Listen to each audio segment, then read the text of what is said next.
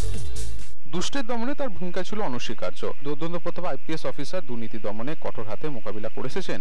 একুশে নির্বাচনে তার প্রতি ভরসা রেখে তাকে প্রার্থী করেছিলেন তৃণমূল সুপ্রিমো মমতা বন্দ্যোপাধ্যায়। তিনি প্রাক্তন আইপিএস হুমায়ুন কবির। তার লড়াই ছিল আরেক দুধে আইপিএস অফিসার ভারতী ঘোষের বিরুদ্ধে। একুশে নির্বাচনে ডেবরায় এই দুই প্রার্থীকে ঘিরে উত্তাপ ছিল যথেষ্টই। ফলাফলে শেষাশি হাসলেন ঘাসফুল শিবিরের হুমায়ুন কবির। প্রতিপক্ষকে অনেকটি ব্যবধানে হারিয়ে দেন হুমায়ুন কবির। শুক্রবার দিন ছিল অধ্যক্ষ নির্বাচন।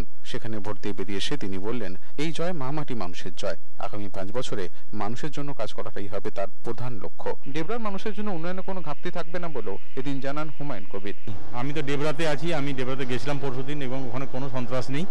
একটু একটু টেনশন তৈরি হয়েছিল কারণ বিজেপি যারা লিডার তারা প্রচুর গালাগালি করেছিল বিভিন্ন রকম বদলা নেওয়ার কথা বলেছিল অশ্লীল কথাবার্তা বলেছিল মারপিট করার কথা বলেছিল। সেই জন্য মানুষ উত্তেজিত ছিল যে ওরা হেরে গেছে সেই জন্য কথা কাটাকাটি নিয়ে একটু গন্ডগোল হচ্ছিল। বাট আমি যখন গেছিলাম বলে এসেছি এবং আমার ওখানে কোনো ডেবরা অ্যাসেম্বলি কনস্টিটুয়েন্সিতে কোনো ল অর্ডার প্রবলেম নেই।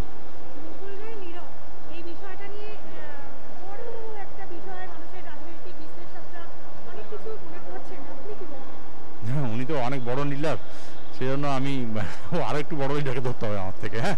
ধন্যবাদ।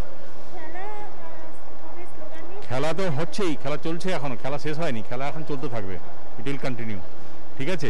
আমাদের এখন দু হাজার চব্বিশ সামনে টার্গেট আছে, তখন পর্যন্ত খেলাটা আমরা চালিয়ে যাব। বেরো রিপোর্ট চ্যানেল টেন।